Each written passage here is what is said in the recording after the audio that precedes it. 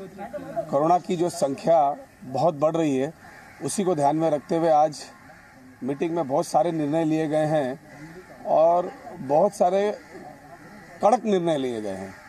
जैसे कि पहले से ही रात को जो संचार बंदी चालू थी अब उसमें ये बदलाव होगा कि सिर्फ़ एसेंशियल सर्विस वालों को ही रात में गाड़ी चलाने की परवानगी मिलेगी। सर कितने बजे से कितने बजे तक का टाइम होगा? वो आठ से लेकर सुबह सात तक का जो है, वो एसेंशियल सर्विस जो होगी, सिर्फ़ उन्हीं को गाड़ी चलाने की परवानगी मिलेगी।